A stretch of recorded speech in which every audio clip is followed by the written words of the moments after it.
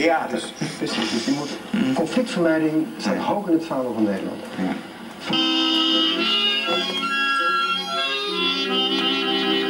Het beeld is goed, hè? Ik kan hem nog donker stellen.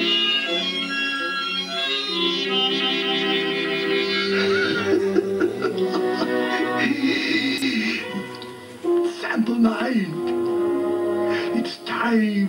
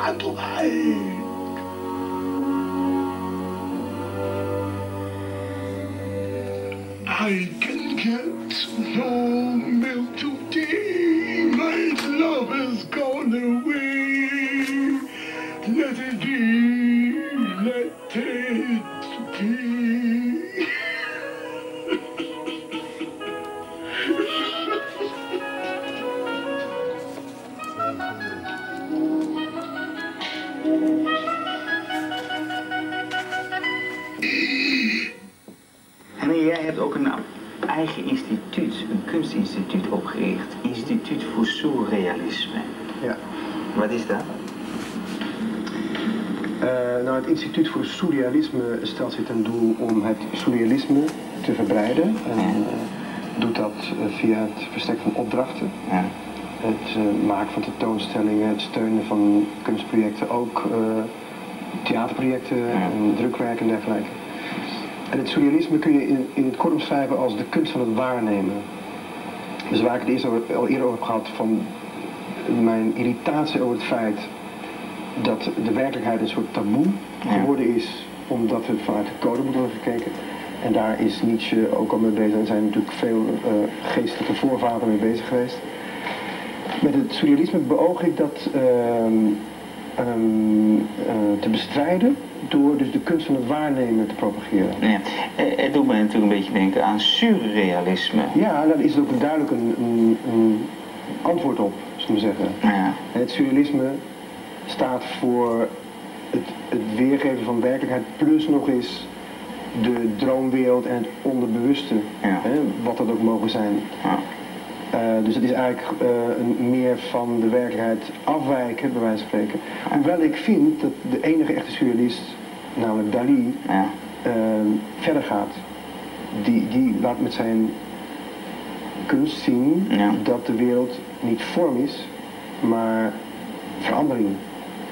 En dat alles eigenlijk permanente metamorfose is en een verwijzing naar iets anders. Maar surrealisme, eh, laat ik zeggen, refereert naar een werkelijkheid, een droomwerkelijkheid. En surrealisme eh, refereert terug naar de waarneming van de, de concrete werkelijkheid. De surrealisme is meer interpretatie. Het is meer interpretatie van wat er gebeurt. Er is. Zo betekent onder. Ja, dus, dus daarom, eh, het is, gaat over dat, als je naar de realiteit kijkt, dat je er eigenlijk achter moet kijken. Ja.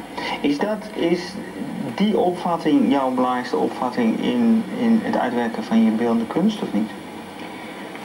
Ja, het- ik, ik ben eigenlijk altijd bezig met het, eh, het onderzoeken van functioneren en het, het laten zien van hoe dingen werken. Maar er zijn ook vaak hele theatrale eh, eh, Dus ik heb eh, ooit echt geëxposeerd in de gang van ehm, het station van Rotterdam, Centraal Station. Er waren vier vitrines. En daar heb ik eh, onder andere de devolutie van het collectief bewustzijn tentoongesteld. Dat waren breinen die ik gemaakt had van kauwgom. En het grappige was, dat was ook heel surrealistisch, dat ik had dus een, een, een levensgroot brein gemaakt van kauwgom. En dat ging verkleuren en op een gegeven moment was het heel organisch geworden. Het was zelfs zo dat er dus soort adertjes van, dat werd grijs, die kauwgom, maar er waren adertjes roze in. En mensen konden ook niet zien dat het van kauwgom was. Dat was dus een theatraal statement dat eh, ik vind dat het bewustzijn bij de mensen op het ogenblik erg veel op, eh, het brein erg veel op kauwgom gaat lijken. En ehm, kneedbaar. Kneedbaar en ook het herkauwen van eh, ja, voorgekoude ideeën weer. Dingen die voor jou nog op het, op, op het programma staan. Wat zijn dingen die je nog zou willen? Nog zou willen. Op het ogenblik ben ik heel veel met muziek bezig. Ja. Ik, ik, eh, ik ben begonnen als dichter toen de tijd. Ja. Ik ben toneelschrijver, toneelspeler. Veel mijn kunst gaan bedrijven. Op Ja. een gegeven moment zijn al die dingen parallel gegaan, muziek gaan maken. En wat ik, waar ik nu naar streef is het combineren van zang en poëzie. Want ik merk dat de muziek, dus de taal, dus moeilijke taal, zoals poëzie toegankelijk maakt. Omdat op een manier je het rationele eh, het bruggetje eh, vermijdt en het soort via een omweg direct naar binnen komt. Dus uiteindelijk. Wow. uiteindelijk eindig ik als popster. Ja? Absoluut. Ja. Is muziek het begin en het eind jou? ja. Ehm, je gaat ook door in het theater, hier. Ik, ik, doe niet één, ik wissel niet af, maar ik schuif gewoon Ja. parallel steeds weer een stukje in een bepaald gebied op. Ja. Eh, de groep heet De Gasten Komen. De gasten komen. Wa- wa- waarom De Gasten Komen? Omdat het, eh, het is een formulering van wat ik verwacht dat er in theater gebeurt. Namelijk niet dat je beoordeeld wordt, maar dat er een verlangen is om te zien, om echt te zien wat je doet. Geldt voor alle kunsten. De nieuwsgierigheid is van wat iemand die daar gaat staan te zeggen heeft. En dus wij zijn de gasten en wij worden ontvangen door het publiek. Dat is een van de interpretaties. Dus dat is een verantwoordelijkheid aan het publiek geven. Ik ben niet een aapje die iets leuks doet, dan kun je zeggen, nou hij sprong wel leuk of hij sprong niet zo leuk. Maar dat betekent dus dat jij niet het publiek ontvangt en een uur lang of twee jaar uur bezighoudt, maar eigenlijk probeert om de rollen om te draaien. Te zeggen, u bent het publiek en ik ben de gast. Precies. Maar dit, je kunt natuurlijk allebei de kanten u- uitleggen, maar dat die, die uitnodiging die zit erin. Goed, misschien moeten we daar dan op wachten totdat de gasten komen. Eh, Eh, ja, ja, het is, het is, eh, als jij mij vraagt van wat is er de afgelopen tien jaar gebeurd in Europa. Dit is eh, 1995. Ehm, het is eh, bijna 15 jaar geleden. Eh, het is eh, aan de ene kant heel erg eh, ontroerend om te zien. Zo'n zo'n jong, jong mens die nog idealen heeft en nieuwsgierig is. Niet dat hier nou een, eh, verzuurde oude lul zit, maar eh, ehm, er is veel gebeurd in die tijd, omdat eh, de nieuwsgierigheid is eigenlijk gewoon eh, niet meer aanwezig.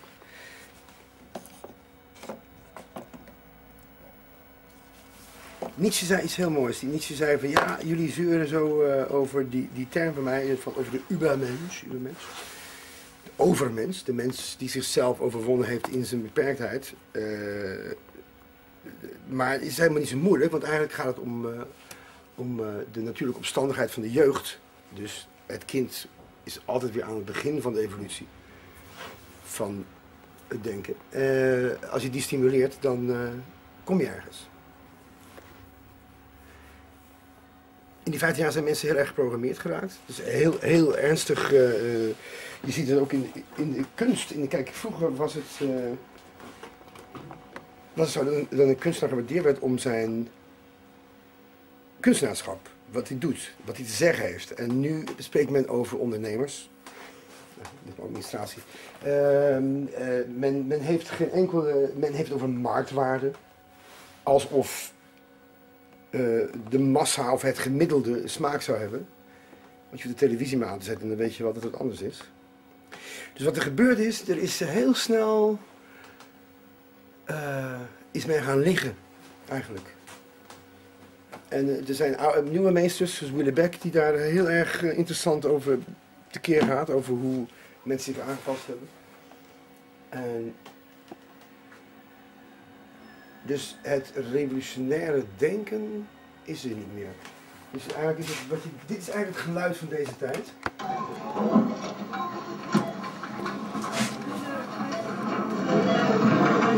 Nou, dat kennen we allemaal, hè?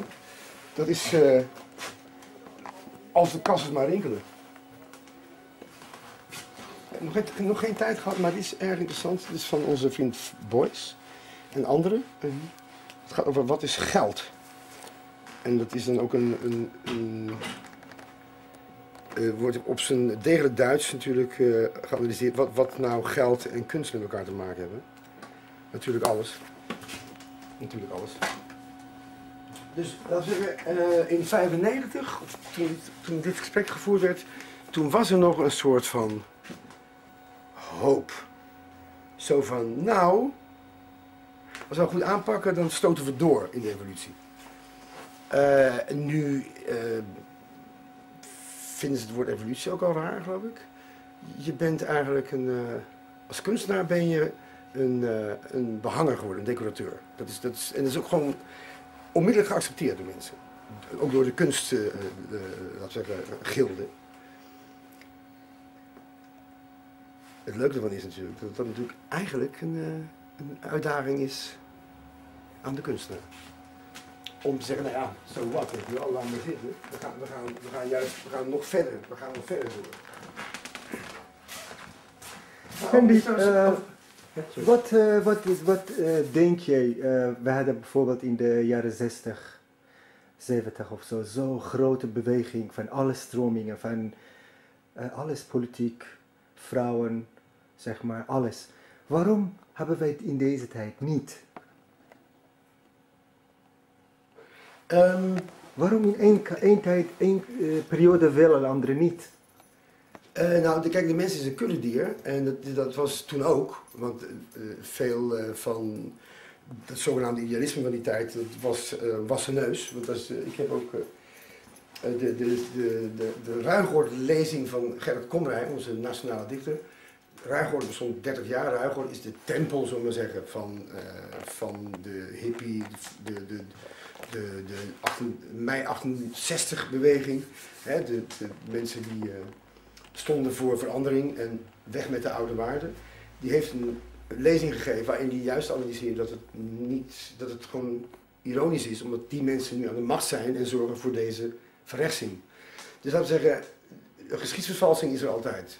Er is altijd een, eh, een weergever van een tijd en dan is het, wordt het geïdealiseerd of zwart gemaakt. Dus laten we zeggen, er was toen wel een behoefte om massaal te protesteren.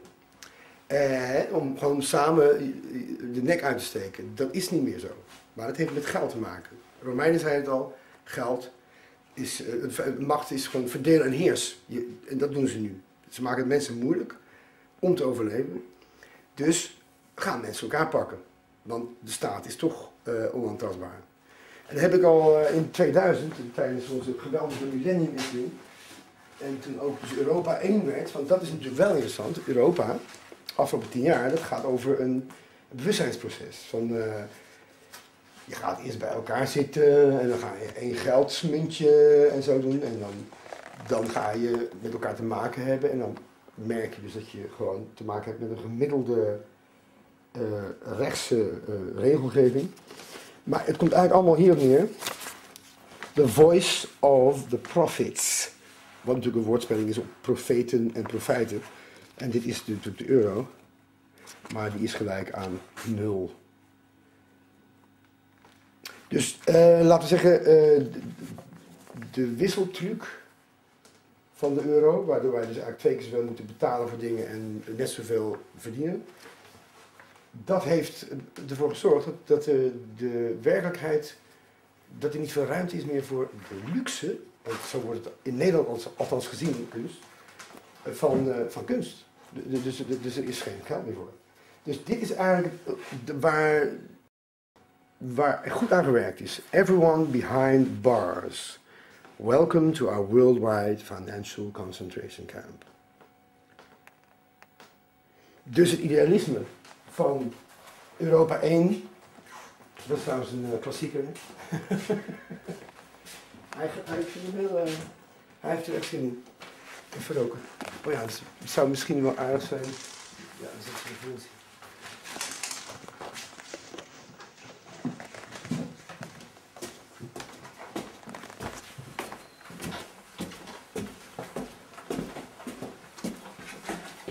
Dus eigenlijk gewoon, het, het, het lachen is ons een beetje vergaan, weet je wel?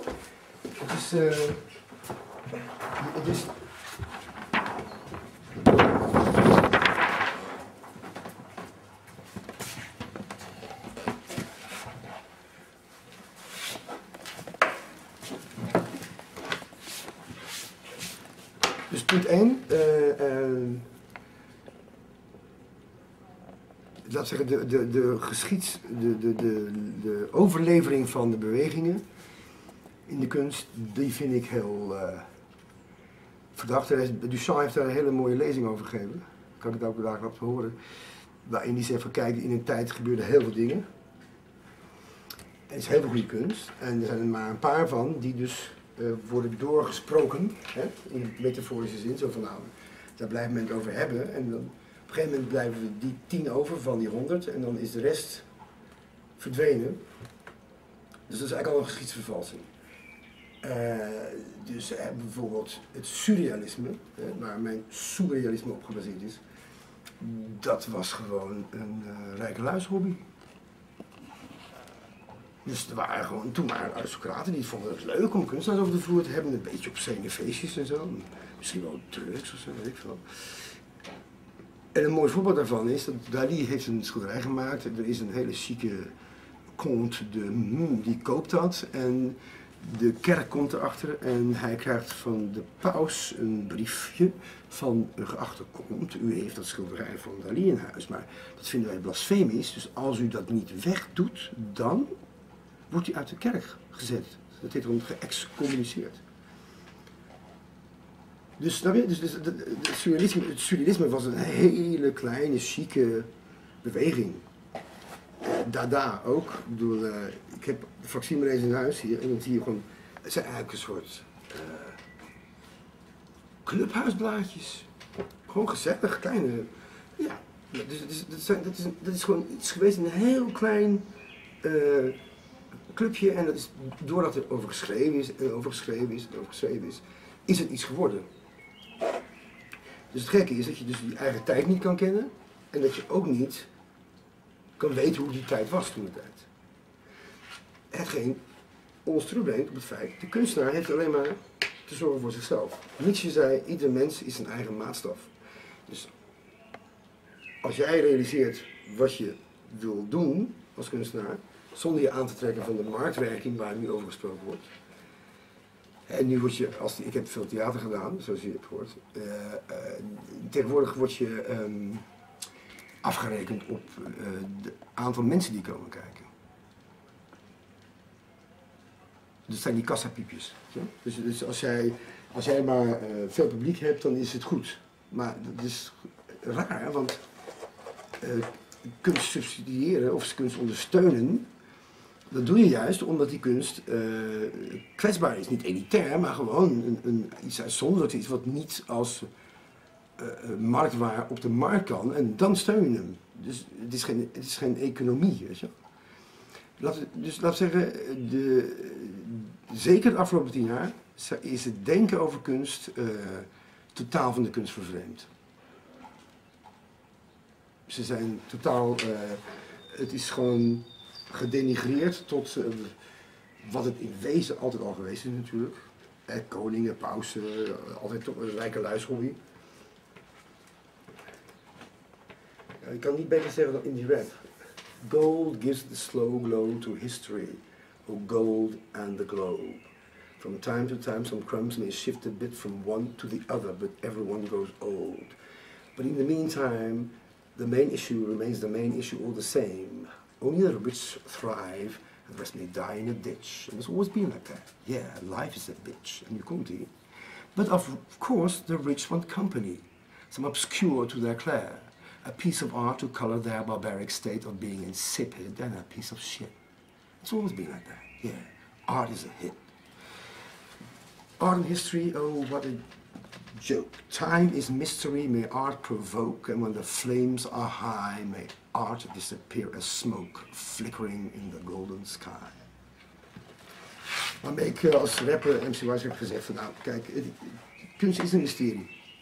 Ik heb hier een heel grappig voorbeeld, was een, eh, een- dat zijn grappige dingen, uitwisselingen. Dus het idee van Europa, Europa 1, er moet Turkse kunstenares wordt uitgenodigd eh, als kandidaat lidstaat ja, vertegenwoordiger. En eh, die zegt, nou, ik ga portretten maken van mensen en ik praat met mensen en dan geef ik ze een interpretatie. Dus ik werd netjes gefotografeerd zonder de, de achtergrond en ik krijg dus dit. And may the flames behind our disappear smoke, flickering in the golden sky. Dus hoewel het niet gebeurt, en eigenlijk uh, niet gebeurt, is, is de, de uitdaging is nu groter dan toen ik uh, met Ab het gesprek voerde, wat we net gezien hebben. Toen was, het, uh, was er nog het idee van, wij kunnen die wereld veranderen. Nu is het duidelijk geworden en het is gewoon shocking dat het zo snel gaat, maar zo gaat het gewoon. Hoe gaat Nou, dus dat, dat je, uh, in Nederland bijvoorbeeld, ze hebben gewoon, op een gegeven moment zijn ze gestopt met kinderen gewoon goed onderwijs te geven. Dus de cultuur is eruit gehaald. Dus je hebt binnen 10, 20 jaar heb je gewoon een generatie die gewoon niet weet van wat daarvoor is. En die het normaal vinden. Nu proberen ze het allemaal in te halen. Dus nu is de kunstenaar ook een workshopleider geworden. Dus nu moet hij opeens die schade gaan herstellen. Dus um, ik spreek natuurlijk heel erg uit van de Nederlandse praktijk, want ik weet natuurlijk niet hoe het in het buitenland is. Maar ook dat uh, de krakband ook zo uh, geweest, dat die zeg maar vrij podium voor de kunstenaar had. Nu is uh, gewoon, komt die krakverbied of zo. Dan, ja, ze zijn, ze zijn zo over bezig. Ze willen nu gewoon, ze willen het verbieden. Dus, dus laten we zeggen, de, de, de, is de, de, de, vrije meningsuiting is behoorlijk in het gedrang aan het raken. Maar er is ook gewoon een soort, en het brein van kauwgom, waar ik het dan over heb ik zei dat toen de tijd zei ik dat een beetje zo ironisch, maar ik merk nu dat het eigenlijk meer waar is dan ik dacht.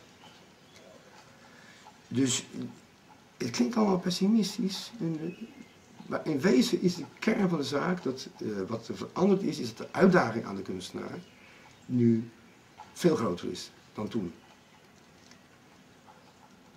omdat er geen, er, is niet, er wordt niet gesuggereerd nu dat er uh, uh, dat er een inhoudelijke uh, omgeving is om je kunst in te presenteren. Het is gewoon puur, je hebt topkunstenaars en je hebt uh, ja, shuttles die het halen. Dus mensen zijn eigenlijk gewoon geldrobots geworden. Maar dat was altijd zo geweest. Mm -hmm, tuurlijk. Kijk, die altijd, ja, dat is de hebzucht altijd natuurlijk, maar um, Men vindt het heel normaal tegenwoordig om oppervlakkig te zijn. En als je op inhoud begint, dan ben je iemand die het moeilijk maakt. En Hoe komt? Televisie. Televisie. Gewoon die programmering. Ik bedoel, programmering van... Uh, ik heb nooit een televisie in huis gehad, maar als ik af en toe tegenkom bij mensen, dan zie je gewoon dat, je, dat er... Uh,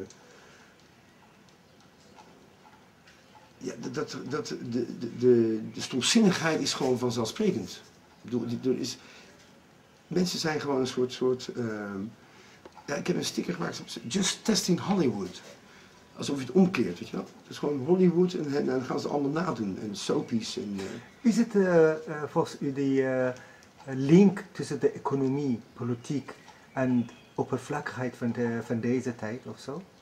Ja, ja de, zeggen, de, de, de politiek heeft zoveel macht dat die, eh, wat ik al zei, het onderwijs, van, nou ja, eh, zorg maar dat die kinderen helemaal geen creatieve vakken meer krijgen. Het gaat gewoon puur zo snel mogelijk in de economische machine meedraaien.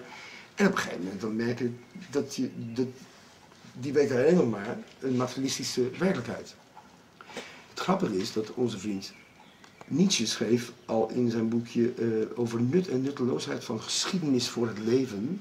Dus in die zin is het gesprek ook natuurlijk een, een, een ironische zaak. Zei hij van ja, uh, de jeugd, die, als ik zo hoor wat ze op de universiteiten moeten doen, en toen kwam hij met precies diezelfde termen. Dus eigenlijk een soort Marx en dit en dat en zo. Ik heb het niet meer paraat, maar het, is, het was zo frappant. Dus het is van alle tijden natuurlijk. Maar het wordt alleen maar erger op een manier. Het, wordt, het wordt alleen maar uh, alsof er geen geest meer is. Maar uh, kijk, die, die, bijvoorbeeld de Hollywood, mm uh, als nodig is, bijvoorbeeld als die, die, die crisis tegenkomt of zo, gebruikt die zeg maar, de creatieve kunstenaar. Zeg maar, lijkt op de vroeger, dat hebben ze gebruikt van Frankrijk, Duitsland, overal. -huh. door, die, ja, door de bepaalde periode of zo. En de bepaalde andere periode helemaal niet. Dus ik vraag me af dat, hoe kan dat, eh, hoe kan dat eh, Hollywood kan zo alles produceren, alles overnemen in- overal, maar tegelijkertijd de distrib- distributie, distributie is, eh, spijt me, ik kan niet goed uitleggen, in Europa kan niet tegen, kan niet tegen Hollywood. Want sowieso de, bijvoorbeeld in Frankrijk, eh, in distributie, hebben ze concurrentie met Hollywood. Maar waarom doen ze niet? Waarom zetten ze niet gewoon alternatief tegen?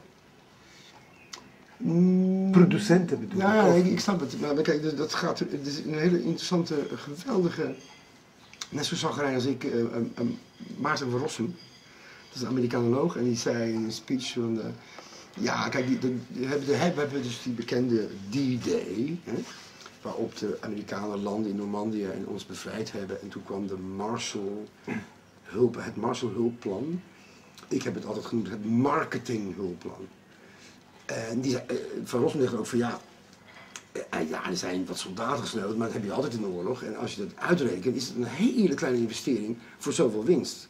Want toen is Amerika als bevrijder gewoon al begonnen met economisch infiltreren en ook eisen stellen. Als je weet dat, dat eh, Amerikanen hebben op een gegeven moment gedreigd, en dat is tien jaar ongeveer geleden zo, eh, zeiden ze ja, als een Amerikaanse militair voor het internationale vredesgerechtshof wordt gedaagd, terecht of niet, dan gaan wij aan het strand stormen, hè, een D-Day in Den Haag, om die te bevrijden. En toen is er in de internationale politiek niet op gereageerd. Ook niet in Nederland. En toen dacht ik, nu zijn we dood. Nu is het, nu is het gewoon voorbij. Toen ik voor het eerst hoorde dat er in Nederland een kliklijn kwam, waarbij je dan dus anoniem kon zeggen, ja, volgens mij heeft de buurman een plantage of weet ik wat. Toen dacht ik, nu zijn we doen erger dan de Tweede Wereldoorlog. Want dan liep je nog zo of je zei iets anders, maar er is totaal geen expressie meer van eh, opstandigheid en alles wat maar een beetje afwijkt is heel erg link. Dus, doe me erg denken aan het boek van Elise Canetti, Massa en Macht. En ze hebben het altijd over Hitler en zo. En, eh, ik maakte toen de tijd eh, veel stukken van Rainer Müller en Thomas Bernhard. En toen werd er door een Nederlandse interview gevraagd van, u doet het zeker om, vanwege het fascisme daar? Hè? Ze zei, nou ja, dat vind ik typisch eh, een opmerking van mensen die de, eigen rotte plekken in hun ziel proberen te verbergen, toe te wijzen aan de ander. Nee, kijk, Hitler was een gat in de markt. Ja? En die, dat heeft hij de massa had wilde dat hebben. Nou, Hitler is dood, maar de massa bestaat nog. En eh, dus het idee van kunst is, is al helemaal uitgebannen. Dus Amerika heeft eh, met zijn eh, propaganda toch al die, al die clichés van tekenfilms en dansers en Hollywoods en. Hè, vroeger ze nog Dali. Dali die is nog binnengekomen in de 30 jaar, of was het net 40 jaar, weet ik veel. Toen was er nog, dat was Hitchcock dan, die dat deed. Maar, dus, toen was er nog een idee van film en kunst. Maar nu is het gewoon puur die piepjes. Ik hoor alleen maar piepjes. Piep, piep, piep, piep, piep, piep, piep, piep. Dat is het enige wat telt. En ehm, dat is eigenlijk gewoon om het nu gewoon om te keren. Dus dit, dit is de tijd waarin de kunst de grootste uitdaging heeft. En daar kun je dus aan toevoegen dat het internet, wat ooit uitgevonden is door het Pentagon, voor militaire communicatie, dat het binnen, dus in die periode ook, want voor mij is dat pas begin 90 begonnen, dus in die korte periode uitgegroeid is tot een geweldig communicatiemiddel. Dus vroeger was ik afhankelijk van podia of eh, ruimtes eh, of, om exposure te hebben van mijn ideeën, om die te kunnen delen met mensen. Maar nu kan ik via internet gewoon met de hele wereld communiceren. Dus ik denk dat de verschuiving, en er is nog steeds heel veel verzet tegen, vanuit eh, kunstenaars natuurlijk, en, want men vindt toch dat de, de, de echte wereld echter is. Maar ik, ik heb de afgelopen twee jaar mijn digibetisme overwonnen. En ik merk gewoon dat het een enorm eh, podium is, een, wereldwijd ehm, podium is gewoon, om denken te verspreiden die verder gaat dan het cliché wat ons wordt aangesmeerd. En wat we dan in de aanbieding kunnen kopen. Dus aan het werk zou ik zeggen. En Henry, wat denk je over die eh, zeg maar aankomst eh, eh, tien jaar? Want eh, dat is de afgelopen tien jaar zo geweest. En hoe denk je, wat, wat, hoe zie je, hoe eh, zie je die zeg maar nieuwe stromingen? Wat, wat was de perspectief eigenlijk, eh, zeg maar, die, van Nederland Ja, of Europa? Ik, ik snap ja, ik, ik ben zelf, ik ben wat dat betreft een soort Neandertaler. Ik ben, ik ben nooit iemand geweest die eh, eh, eh, zich bezig heeft gehad met trends of met bepaalde galeries of blaadjes. Want ik vind dat. Ehm, ja, dat, vind ik interessant. Ik, ik vind de, dat de, de grote lijnen, die, zijn het belangrijkst. Ehm, wat er gebeurd is, is afgelopen tien jaar, is dat de kunstenaar heeft zich, het gros van de kunstenaars, of de kunst is gewoon heel erg snel, en natuurlijk ook omdat je wel een boterham moet hebben waarschijnlijk, eh, decoratief geworden. En ondergeschikt aan. Hè. Is een thema, is leuk om het erbij te hebben. Dat is wat het geworden is en dat is wat geaccepteerd is. In de geldstromen zie je ook, dat is vroeger in Nederland was het naar de kunstenaar en nu gaat het naar de instanties. Dus Laat zeggen, ik, de, de meeste kunstenaars hebben zich getoond als zijnde gewoon uh, kunstnijverheidswezens. Ehm, dus eigenlijk platgewalst. En, en, en de, de pers heeft zich wel afgetrokken. Dus ehm, in Nederland wordt niet geschreven over, over theater bijvoorbeeld. Wordt, helemaal, wordt nauwelijks meer over geschreven, behalve dan de grote gezelschappen. Dus er is een. ehm, eh, het is zo dat, dat je eigenlijk gewoon eh, echt underground moet zijn. Als je je als kunstenaar een beetje respecteert, dan ben je gewoon eh, bijna anoniem bezig. En dan, en dan spreek je gewoon de, de, normale mensen aan. En dan blijken er natuurlijk heel veel mensen zijn die toch heel graag wat anders willen zien dan wat ze altijd maar steeds weer voorgeschoten krijgen. Namelijk de bevestiging van het feit dat een mens is gewoon een economische machine. En je moet gewoon meedraaien. Als jij eh, zal kans krijgen om te teruggaan naar de vroeger, Mhm. wil jij, zou, wil jij tussen de welke stromen, stromen zitten en waarom?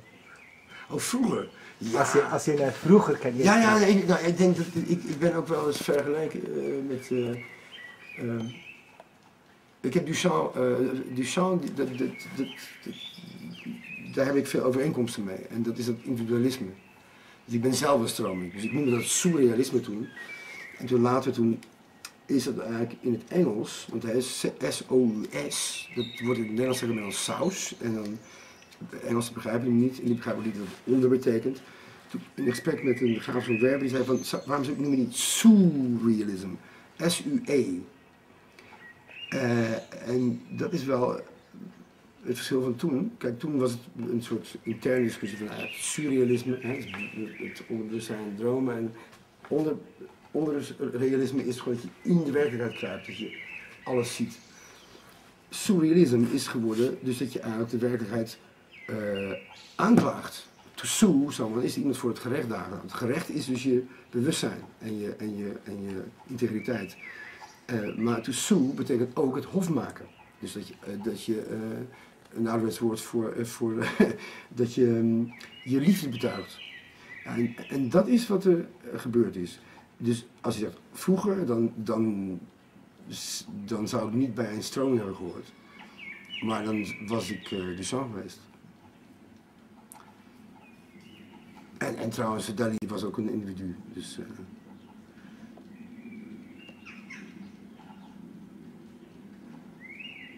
dat, ik, ik kan alleen maar zeggen, ik kan me met individuen dus eh eh, even vereenzelvigen. En, als we op psychologie hebben, wat ook niet onbelangrijk is, dan hebben we eh, een Grodek, die, die duidelijk het enfant terrible was. Wat ik ook ben genoemd, enfant terrible. Terwijl je gewoon een natuurlijk mens bent eigenlijk. Eh, ehm, eh, die, die is ook door Freud uit die Weense school gegooid. Nou, dat, soort mensen, daar heb ik veel mee. Die, eh, Dat, dat, het individu is gewoon de ontwikkeling. En de stroming is altijd bedacht. Is gewoon, en zeker achteraf, was als een soort propaganda of PR. eh, om het overzichtelijk te maken. Maar, het is natuurlijk een enorme delta van allemaal, het gaat maar door. En het verdwijnt dan in die zee van de geschiedenis. Maar hoe die stroompjes lopen. Maar het gaat erom dat je met de directe omgeving contact hebt. En dat is sinds het internet dus de hele wereld. En eh, eh, veel contacten met de jongeren. Jongeren. Eh, en dan, eh, zeg maar, je speelt met hun, stonen en zo. Eh, denk je dat nog andere mentaliteit die die nieuwe generatie hebben ze? Bijvoorbeeld bij 25 jaar of 20 jaar of 18 of zo, of iets ouder.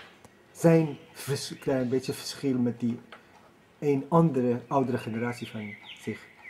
Ja, wat grappig is, eh, eh, eh, ehm, en ik heb dus workshops gegeven aan, aan eh, eh, kindjes van 5 tot 10 en dan, en middelbare school en dan eh, vakopleiding of universiteit. Dus dan heb je het over tussen eh, 5 en 25. Het is allemaal fucking Nietzsche. Ik bedoel, niet dat hij dat heeft uitgevonden, maar hij heeft het als eerste verwoord. Als je maar die natuurlijke opstandigheid aanspreekt en ook op gelijk niveau met iemand praat. Want een mens is gewoon in een andere fase van zijn leven, maar dat is niet, eh, dat is gewoon een, een fase. De kern is er. En wat mij opgevallen is, er is natuurlijk door een massale eh, eh, imitatiegedrag. Hè, Vroeger had je geen soap, nu hebben ze hun eigen soap sinds ik weet niet hoe lang. op weg naar niks en zorgen van morgen of zo. Ehm, eh, op slechte tijden, weet ik veel. Eh, je ziet gewoon dat bijna alle meisjes, die, lijken wel op zo'n figuur uit zo'n serie. Dus er is heel veel aanpassing, maar dat zal ongetwijfeld altijd geweest zijn. Maar mij is opgevallen als ik gewoon vanuit het evolutionaire principe, zoals Nietzsche dat verwoordt, of vanuit het individuele denken, zoals Duchamp doet, en die zegt van, dus, dus niet naar buiten van ik maak een kunstwerk om, te, nee, maar ik doe zo. Dat waar ik ook ben, of het HRO is, of TU, of ben- als je gewoon een mens aanspreekt op zijn eigen aanwezigheid en zijn eigen wil om hier te zijn, ja, dan zijn we nog aan het begin. En dat is heel hoopvol. Dat is mooi. Dat is echt heel mooi.